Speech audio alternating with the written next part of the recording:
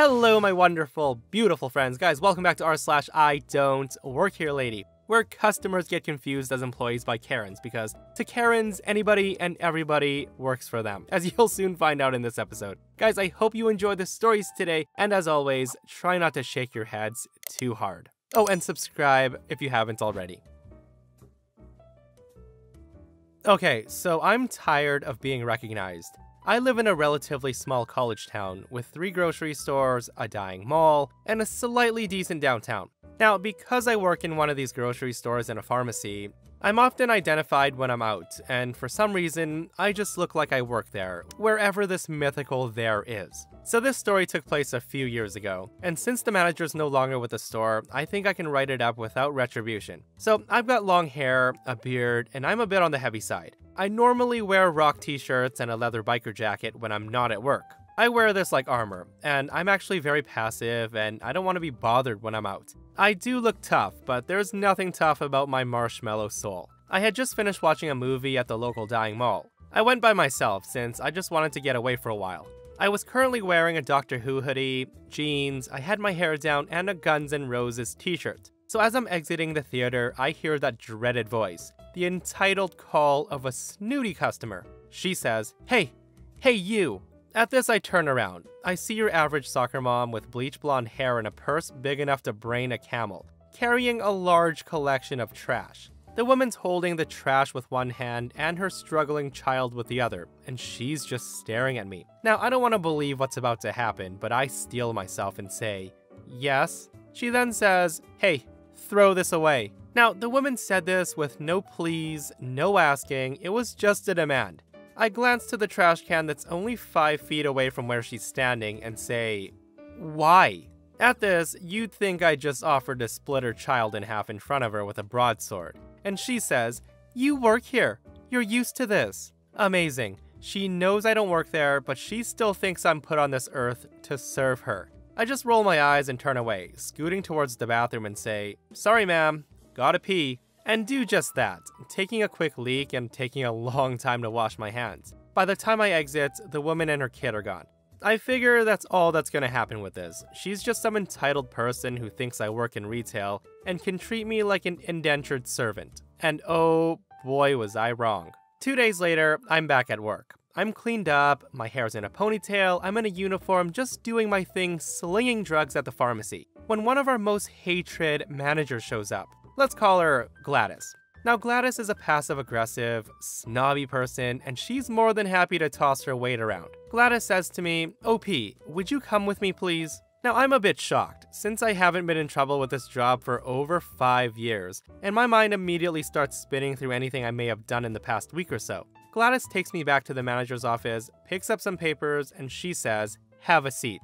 Gladys then says to me, so, I had a complaint about you the other day from a customer. Now at this I sink down. I'm trying not to shake with panic and I say, what have I done? Gladys then says to me, so, we had a customer that says that you were very rude to her at the movie theater the other day, and you refused to help her. Now at this, I just blink a few times at her and say, I'm sorry, what? Gladys repeats the accusation, and she says, When you work for this company, you represent us even when you're not on the clock. Now, I'm not only going to write you up for this, but I want you to watch what you do in the future when you're not here. I then say to her, No. Gladys looks back at me in shock, and she says, What do you mean, no? I said, No. I'm not taking a write up for something that happened off the clock. I then leaned forward, folding my hands in my lap, and glared at her and said, Why are there no other managers here? Why is my pharmacy manager not here? Shouldn't he be here when I'm being disciplined by someone that's not even in my department? Speaking of which, where's our department manager?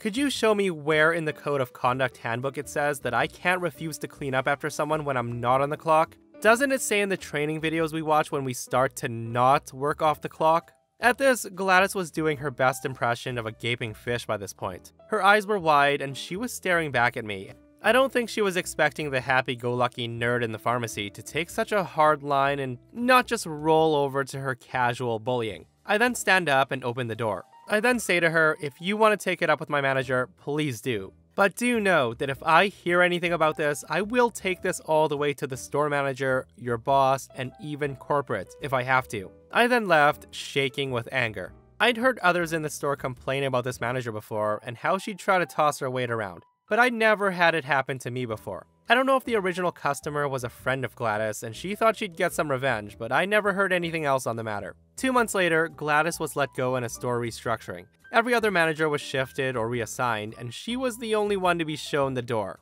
Honestly, guys, she was probably shown the door for trying to pull stupid stuff like that all the time.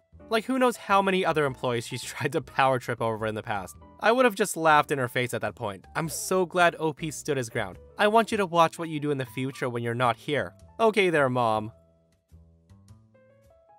So, for some context, I work at a chain bakery that has bright blue polo shirts and khaki colored pants as the uniform, with the bakery's logo embroidered on the sleeves. Coming home from work on the bus, there's a small plaza at the stop before mine that has some pretty bomb pizza. And every once in a while, I'll stop by the plaza to grab some and walk the rest of the way home. The uniform there is a fire truck red shirt with the logo completely covering the back and also black pants. If someone can tell me how Karen got this mixed up, I would love to know. Anyway, here's the story. So on this great day, I was running on about 3 to 4 hours of sleep, a cheese croissant, and a coffee. I had gotten off a long shift and hadn't had time to grab lunch while on break, so suffice to say, I was hungry. Hungry enough that I didn't even care that I was still in my work uniform. I just wanted some food pronto. So I stopped by the pizza parlor, grabbed a slice, some Mountain Dew, and a cookie for the road, and then sat down a happy customer. I had my headphones in and was scrolling through my phone while eating when the staff disappeared behind the counter. No biggie. About a minute later, Karen walks in. Now, it was just me in the place at that time, and the staff was still in the kitchen. The most attention I gave her was a quick glance before looking back to my phone and taking a sip of my pop. I assumed she would just go up to the counter and order, you know, like a normal person. But before I knew it, she was standing right beside my table and giving me that good old disapproving stare that only Karens are capable of. This was our interaction as follows. I take my earbud out and lowered the volume and asked, Can I help you? Karen says to me, Hi, can I get a large pizza, some breadsticks, blah blah blah. Now I do catch on pretty quickly, so I interrupt her and say, oh sorry, I don't work here. Now Karen pauses, as if this information was too large of a worldview shift for her to process. And in the end, her brain couldn't compute and she says, hey, first of all, don't you interrupt me, that's very rude. Second, what are you talking about? That is a uniform. I know you work here, so don't you give me that attitude. Now, the logic of this Karen made my own brain short circuit. And I guess it showed on my face because the next thing I knew, her jaw dropped in shock and she was railing on me on my horrendous work ethic and berating me over wearing headphones on the job and how dare I eat the product that's meant for customers. She even went as far as to say that I'd made a huge mistake and that she's a regular and had more than enough leeway to get me fired. Now, a side note if she was a regular, she would have known what the uniform looked like. It was around this point that I remembered the logo on my sleeve, and I just wordlessly turned my arm and pointed at it. Karen stops yelling long enough to give it a proper look, and I could see the color just drain from her face. I then say to her, See that? That is my company's name. And, uh, what's this place called again? Then, not two seconds later, an actual staff member shows up behind Karen, and they asked if there's a problem. Now, I thought this was the end of it when Karen pipes up and says, Yes, there is a problem. Your coworker is extremely rude to me. Yep, that's right. Karen was still insisting that I worked here. Pizza Girl looks at me and recognizes me as the girl she just served, and she says, Uh, ma'am, she doesn't work here. At this, Karen says, I want to see a manager. The girl then goes off to get her manager, all the while Karen's giving me the snobbiest death glare that I've ever seen in my life. I just sigh and take another sip of my pop. Then Pizza Girl and the manager come out, and the manager says, Hi, what's the problem here? Karen says, That girl refused to take my order, and she was extremely rude to me. You need to discipline her. Now, the manager looks at me and knows that I don't work for her, and she says, She doesn't work here, ma'am, but I can take your order if you'd like. Finally, Karen leaves me alone and she follows the manager to place her order. Now, the whole time, I could hear Karen complaining so loudly about me that I just started to pack up my things to eat my pizza at home in peace. Pizza Girl stopped me though. She handed me a takeout bag with another slice, garlic dip, and a cookie. She said it was an apology for me having to deal with Karen, and also a thank you for being one of their nicer regulars. Now this still puts a smile on my face, and this happened yesterday. On my way out, I heard Karen demanding a free pizza since they were just giving free stuff away. I hope those guys turned out okay. Yeah, I'm pretty sure they did OP.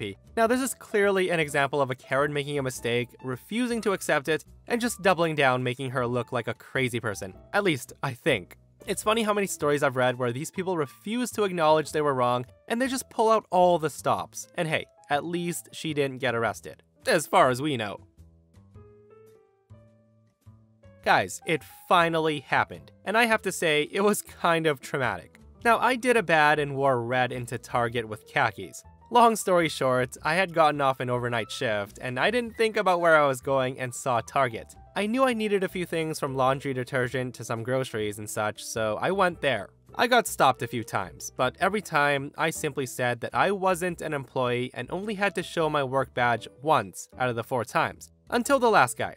So, to set the stage, I'm 5 foot 6 and just over 120 pounds if I eat a full course meal, so I'd say I'm smallish. The dude that stopped me is about a foot taller than me and a pure definition of a gym bro. Now, I won't lie, I didn't handle it well. I was tired after the overnight, and I was annoyed that I had been stopped several times now. The guy calls out to me, and I ignored him. He then followed and called out a few more times, and I simply said, Hey, I don't work here. Now, the guy didn't like that. He ran in front of me and then grabbed my arm and he began to shout, I'm a customer, you. And that's when I punched him in the throat with my free arm out of reflex. After that happened, the guy quickly lets go of me, begins coughing violently, and I just stand there in disbelief that A, someone would just grab an individual and scream at them, and B, I had just punched the guy over 6 feet, who looks way stronger than me, and who was obviously very angry at me. So at this, I ran. I ran up to the front counter, I pulled out my phone and called 911. I told the person on the phone and the employees what happened, and then I hid. Eventually, the cops came, see this guy screaming at employees to tell him where I went, and after about an hour of de escalation, I come out. The guy says something along the lines of me assaulting him after he politely tried to get my attention. I then explained my side and said that I am not an employee. Cops check the cameras, see what happened, and then they cuff him and escort him out. This is highly an abridged version of what happened, as this took a while to get done. During this, he tried to explain, and I distinctly remembered him saying, so I grabbed him. They then asked me if I wanted to press charges, and honestly, no, I don't have the mental energy to take it to court, and honestly, I feel like punching him in the throat was enough payback. Personally, for me. See, this is exactly why you don't grab onto anybody. You never know how people are gonna react, and in this guy's case, OP gave him a quick strike to the throat. Now, OP does come back with a part 2, and here it is, guys. He says, So this just happened today. I was shopping in a local co op to get some breakfast before work, and then I saw him. I saw the dude that I punched. He saw me, and I tried to hurry off, but he called out, I'm sorry. So at that, I stopped, turned around, and he walked over and looked really apologetic, so I decided to hear him out. We talked for a bit, and after about 5 minutes of him apologizing, he said that he's really sorry, that his grandfather recently passed away, and it was hard on him, but that doesn't excuse what he did though, so he's really sorry. He also explained that he didn't face any charges, but he did seek out therapy, and that seems to have been helping. He even paid for my breakfast. It turns out that dude was just having a bad day. Either way, I figured I'd just update with a happy and somewhat wholesome ending to the interaction. Hey, everybody has bad days once in a while, but you should never, ever, ever use that as an excuse to put your hands on anybody. Because like I said, you might get punched in the throat. Honestly, good on that guy for catching OP and apologizing, and good on OP for being willing to listen to what the guy had to say and getting closure to the whole situation. Okay, so while we're on the topic of putting hands on people, the next story, an entitled Karen learns why you shouldn't do that. So I'm a 25 year old soldier, and I was shopping for some food for dinner at the local supermarket. Now I usually shop there two to four times a week on my way home, in full uniform. That's why often some elderly men or women ask me to help them with things like getting something from the top shelf or putting something heavy in their cart. It's no problem for me at all, and I often ask if they also need help with loading their groceries in their car because, honestly, it's no big deal for me. So now to the Karen. So this happened one day, after I helped an old grandma put some heavy groceries in her car. After I finished, I was walking back to my car when I hear a lady behind me shout, Now that you're done with her, you can help with my shopping and carry my things. With that typical Karen voice. Now, I'm pretty irritated because I'm dressed in full uniform and I'm not her servant, and plus, she didn't use please or thanks. I say politely to her, No, I'm sorry, I can't help you, as you can obviously see that I don't work here. I was just helping with her groceries. Now, this was not the correct answer. Karen gets louder and she screams, Hey, I pay taxes, so you work for me. Now, obviously, I say no to her and I continue walking away to my car. And that's when I felt a hard grip on my shoulder, and out of reflex, I grabbed her arm, twisted it, and slammed her hard, which caused a big bloody nose. So after a lot of screaming from her and a long conversation with the shop staff and some people who called police, I pressed charges on her for assaulting me, and she got banned from the shop. Guys, I literally can't at this. How on earth would you think that it's a good idea to aggressively put your hands on a freaking military soldier? Like, what did you expect was gonna happen? And with her entitled attitude of I pay taxes, so you work for me. Yeah, your taxes pay government employees to do the jobs for which they're hired, not whatever the heck you want them to do, Karen. Now, I'm pretty much a fixture in the local grocery store. Almost every day, I'm in there because I like to cook, but I don't always remember to get all the ingredients and I have to go back. I'm in the grocery store so much that I know most of the staff by name. A couple of my neighbors even work there. But anyway, I was walking around the aisles picking up beef broth, vegetables, and whatnot when I see a lady wandering the aisle aimlessly. So I thought I'd be considerate and ask her if I could help her. The old woman was looking for baking goods. Now, I know the store like the back of my hand, and I know where it is. As we walked to the baking aisle, we struck up a conversation. The sweet elderly lady asked me if I would help her with shopping because she had never been in the store before. I said sure, why not? I was in no big hurry. I mean, I live in the apartments right behind the store. And I mean actually behind the store. I can stand on my patio, take off a shoe, and actually hit the back of the store. We wound up doing all of her shopping together, and she began to tell me about her kids and grandkids and how she was soon to be a great grandmother. She was a very pleasant woman. We walked the aisles, taking the items on her list and throwing them in the shopping carts, and she would check the items off. Finally, about half an hour later, we proceed to check out. I told her I'll be right back because I almost forgot what I had gone there for. As I returned to the register, the lady was telling the manager what a nice employee I was and didn't want to get me in trouble for taking up my time. At this, the manager smiles and says that I don't work there. The lady looked at me puzzled, and then she apologized for taking up so much of my personal time. I told her I was in no rush, and that I live in the apartments nearby. It turns out that she just moved several apartments away across the apartment complex, and we walked home together to our apartment. She then smiled and asked me why I helped her if I didn't work there. I tell her my parents raised me to help others without reward. I then gave her the groceries. I told her if she needed help or wanted to go shopping to let me know. The woman said she did her shopping every Monday, and if I wouldn't mind going, she'd enjoy the company. I told her it was very kind of her to try to keep me from getting fired, even though I don't work there. So now I have a shopping buddy, and someone to talk with and share coupons.